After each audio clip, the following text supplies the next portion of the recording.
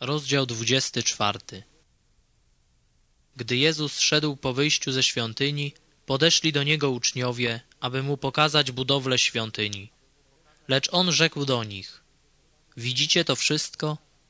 Zaprawdę powiadam wam, nie zostanie tu kamień na kamieniu, który by nie był zwalony.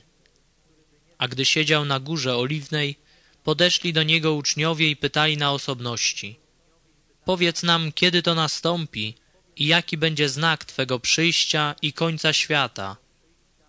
Na to Jezus im odpowiedział, Strzeżcie się, żeby was kto nie zwiódł. Wielu bowiem przyjdzie pod moim imieniem i będą mówić, ja jestem Mesjaszem, i wielu w błąd wprowadzą. Będziecie słyszeć o wojnach i o pogłoskach wojennych. Uważajcie, nie trwóżcie się tym. To musi się stać, ale to jeszcze nie koniec. Powstanie bowiem naród przeciw narodowi i królestwo przeciw królestwu. Będzie głód i zaraza, a miejscami trzęsienia ziemi, lecz to wszystko jest dopiero początkiem boleści. Wtedy wydadzą was na udrękę i będą was zabijać i będziecie w nienawiści u wszystkich narodów z powodu mego imienia. Wówczas wielu zachwieje się w wierze, będą się wzajemnie wydawać i jedni drugich nienawidzić. Powstanie wielu fałszywych proroków i wielu w błąd wprowadzą, a ponieważ wzmoże się nieprawość, oziębnie miłość wielu. Lecz kto wytrwa do końca, ten będzie zbawiony. A ta Ewangelia o Królestwie będzie głoszona po całej ziemi na świadectwo wszystkim narodom i wtedy nadejdzie koniec. Gdy więc ujrzycie ohydę spustoszenia, o której mówi prorok Daniel, zalegającą miejsce święte, kto czyta, niech rozumie, wtedy ci, którzy będą w Judei, niech uciekają w góry. Kto będzie na dachu, niech nie schodzi, by zabrać rzeczy z domu. A kto będzie na polu, niech nie wraca, żeby wziąć swój płaszcz.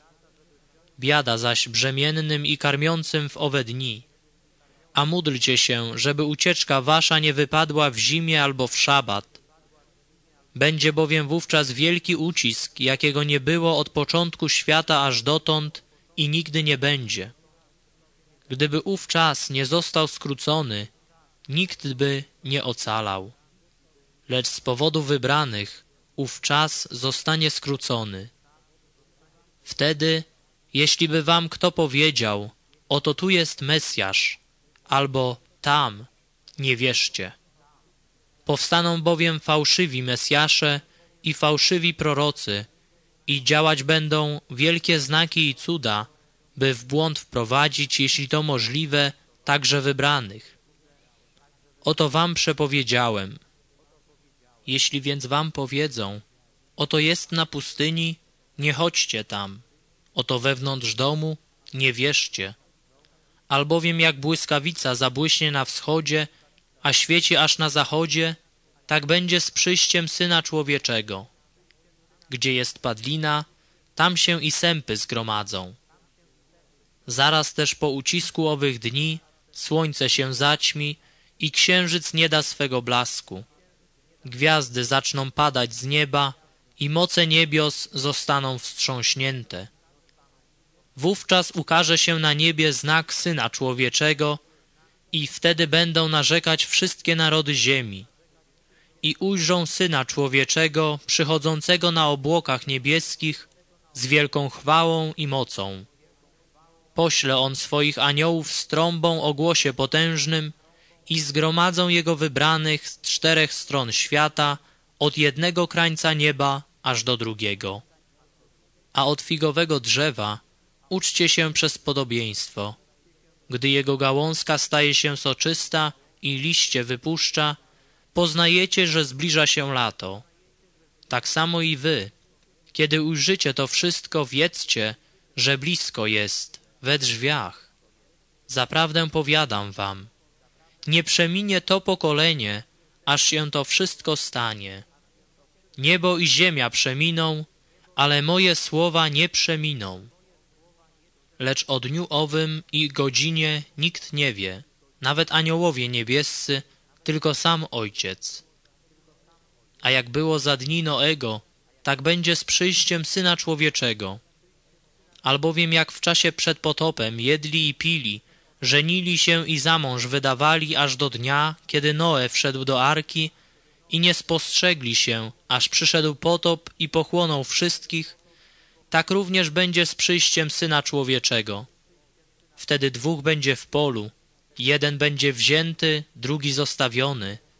Dwie będą mleć na żarnach, jedna będzie wzięta, druga zostawiona. Czuwajcie więc, bo nie wiecie, w którym dniu Pan wasz przyjdzie. A to rozumiejcie. Gdyby gospodarz wiedział, o której porze nocy złodziej ma przyjść, na pewno by czuwał i nie pozwoliłby włamać się do swego domu. Dlatego i wy bądźcie gotowi, bo w chwili, której się nie domyślacie, Syn Człowieczy przyjdzie. Któż jest tym sługą wiernym i roztropnym, którego Pan ustanowił nad swoją służbą, żeby na czas rozdał jej żywność? Szczęśliwy ów sługa, którego Pan, gdy wróci, zastanie przy tej czynności. Zaprawdę powiadam wam, postawi go nad całym swoim mieniem. Lecz jeśli taki zły sługa powie sobie w duszy, mój Pan się ociąga i zacznie bić swoje współsługi i będzie jadł i pił z pijakami, to nadejdzie Pan tego sługi w dniu, kiedy się nie spodziewa i o godzinie, której nie zna.